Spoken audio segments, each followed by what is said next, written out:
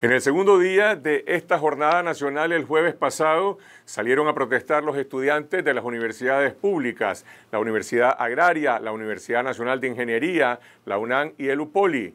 Y la protesta se extendió en el interior del país, en ciudades como Matagalpa, León, Chinandega, Granada y Masaya, convirtiéndose en un verdadero reclamo nacional.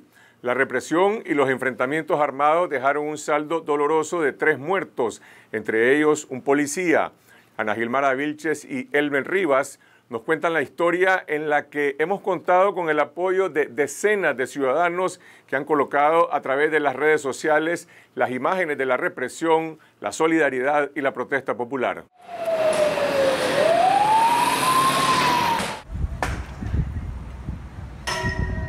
Los enfrentamientos empezaron en la Universidad Nacional Agraria, donde jóvenes protestaron pacíficamente deteniendo el tráfico.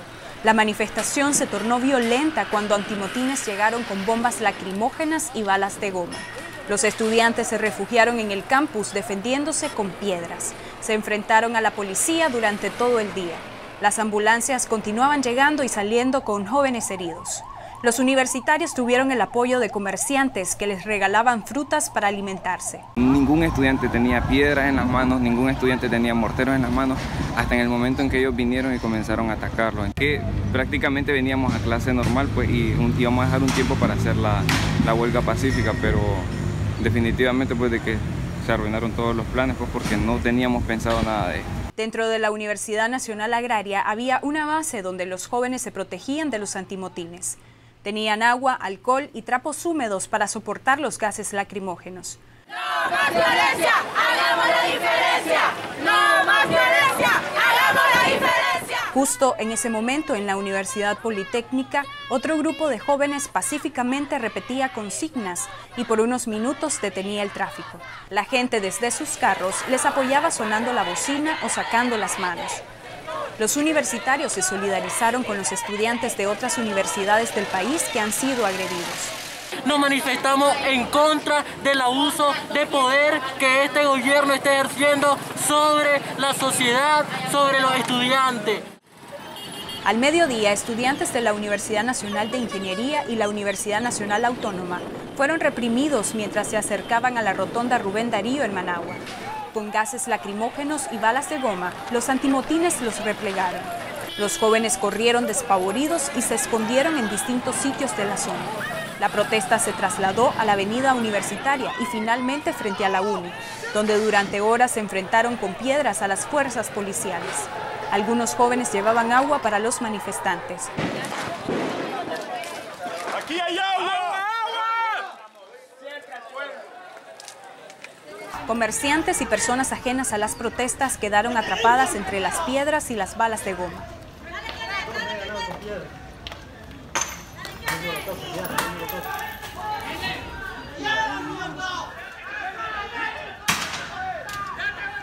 Las clases han sido suspendidas en distintos recintos universitarios, mientras la tensión aumenta con brotes de violencia que se vive cada vez que los estudiantes autoconvocados se reúnen en cualquier punto para protestar.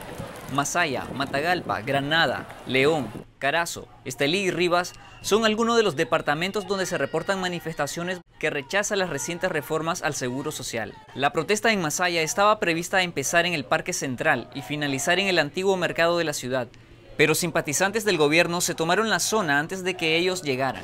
Luego comenzaron a tirarles piedras y morteros, por eso cambiaron de rumbo y a un metro del parque cantaron Nicaragua, Nicaragüita y el himno nacional. Felicidades a los Masaya, perdieron el miedo, perdieron el miedo. Y esta fecha, 19 de abril, va a quedar en la historia. Y aquí está el pueblo de Masaya, aquí estamos los chavalos diciéndole presente a la tercera generación. Fui militante del Frente Teñito, pero ahora ya no soy. Ya no soy.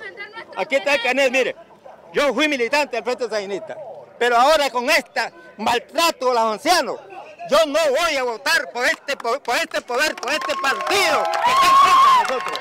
Masaya no se va a rendir, repetían los manifestantes. Cuando avanzaron hacia el Parque Central, motorizados y antimotines llegaron y les tiraron bombas lacrimógenas. Así se replegó la protesta donde en medio de la confusión una niña resultó lastimada.